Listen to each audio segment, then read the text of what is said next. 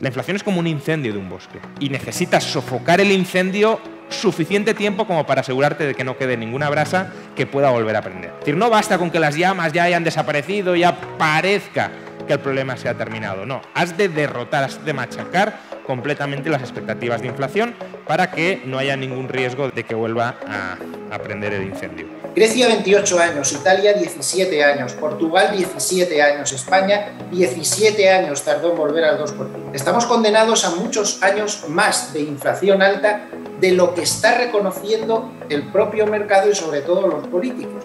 Bienvenidos a este evento anual de Zona Value. Bueno, hoy vamos a aprender a sobrevivir a la inflación.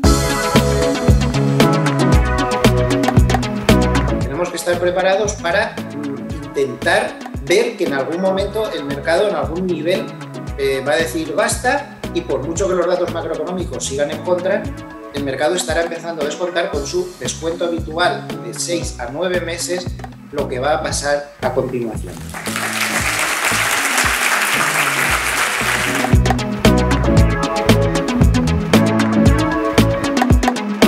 menores beneficios empresariales en cada vez más partes de la economía y eso combinado con la subida de tipos, consecuencia en el mercado bursátil, pues lo que estamos viendo, caída muy fuerte de las cotizaciones porque los dos elementos que determinan el valor de la acción, eh, el múltiplo y el beneficio por acción, se están desplomando, están cayendo a plomo.